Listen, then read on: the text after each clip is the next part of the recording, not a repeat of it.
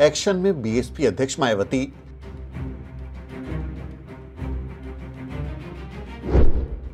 विपक्ष से अलग बहनजी का चुनावी प्लान।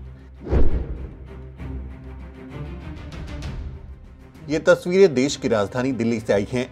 आज दिल्ली में बसपा कार्यालय में बसपा अध्यक्ष मायावती ने बड़ी बैठक की। 2024 के लोकसभा चुनाव के मद्देनजर मायावती ने पार्टी नेताओं के साथ अहम बैठक करते हुए चुनावी रणनीति बनाई। विपक्ष अपनी अलग बैठकें कर रहा है और मोदी को चुनौती देने की कोशिश कर रहा है, लेकिन विपक्ष ने मायावती से दूरी बना रखी है। ऐसे में बसपा अध्यक्ष मायावती खुद अपने दम पर चुनावी तैयारियों को तेज कर रही हैं। मायावती ने आज चंडीगढ़, हरियाणा और पंजाब के स्टेट, जिला और असेंबली लेवल के तमाम पदाधिकारियों के साथ रिव्यू मीटिंग करते हुए पार्टी संगठन में ज़रूरी बदलाव किए। मायावती ने कहा कि संगठन में कमियों को दूर करके पार्टी के जनाधार को सर्व समाज में तेज़ी से बढ़ाने की ज़रूरत है। मायावती ने कहा कि जिस तरह से मोदी राज में हालात बेकाबू होते जा रहे हैं, ऐसे में मुमकिन है कि 2024 के लोकसभा चुनाव के समय कई और राज्यों में भी विधानसभा चुनाव एक साथ करा लिए जाएँ। ऐसे में मायावती ने पार्टी नेताओं को अपनी तैयारी मुकम्मल रखने की सख्त हिदायत दी है। हरियाणा पर खास ध्यान देते हुए मायावती ने संगठन में भी बदलाव किए और हरियाणा में बीएसपी की नई टीम का गठन किया। प्रेस रिलीज़ के मुताबिक मायावती ने अच्छे कैंडिडेट्स को चुनाव लड़ाने और पार्टी से जोड़ने की नसीहत दी है, मायावती ने कहा। हरियाणा राज्य पार्टी, यूनिट पार्टी संगठन में यूपी के पैटर्न पर कर्मठ और जुझारू युवाओं को मिशनरी बनाकर उन्हें आगे बढ़ाने का प्रयास करे। बाबा साहेब डॉक्टर अंबेडकर के कारवां को किसी भी कीमत पर हरियाणा में भी रुकने और झुकने नहीं देना है। मायावती ने हरियाणा के लोगों से अपील की कि उन्हें सूबे में बसपा की सरकार को एक बार ज़रूर आजमाना चाहिए।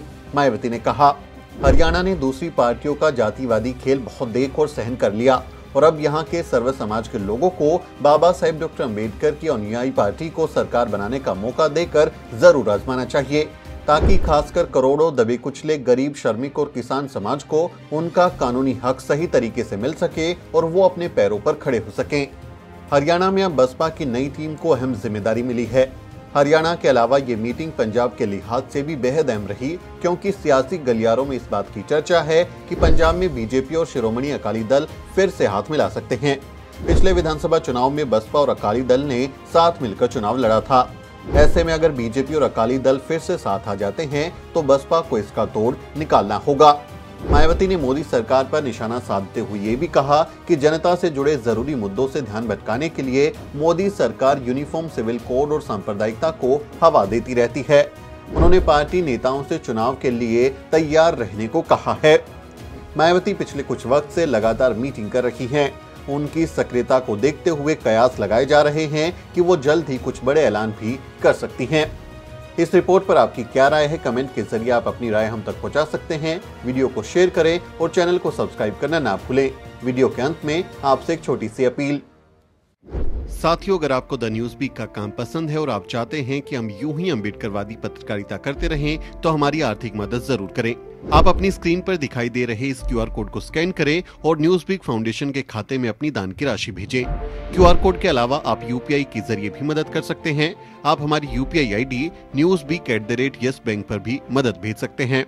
इसके अलावा आप हमारे अकाउंट में भी मदद भेज सकते हैं। खाते का नाम है news beak foundation account number है zero two three five double eight seven double zero double zero zero six four zero I F S C code है yes B double zero double zero two three five bank का नाम yes bank है और branch है Nehru palace Delhi आप donation के एवज में इनकम टैक्स में भी छूट पा सकते हैं। डोनेशन की रसीद पाने के लिए ट्रांजैक्शन का स्क्रीनशॉट हमें भेजें। टाइप करें डोनेशन स्पेस आपका नाम और हमें eight five nine five seven nine four two two four पर व्हाट्सएप करें।